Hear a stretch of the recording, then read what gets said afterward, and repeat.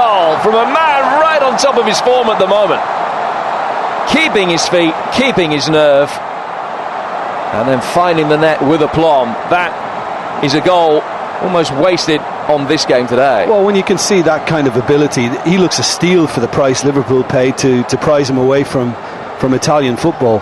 Um, I just love it the close control, the balance, the awareness of what was going on around him, and the last little check inside sends the keeper the wrong way, gave him the eyes, and, and found the corner. It's just a beautiful individual goal from a really classy individual wonderful football. There's nothing better on a football field to see somebody like that going past defenders and uh, and finding a net. And Coutinho has done it with considerable style. That's terrific.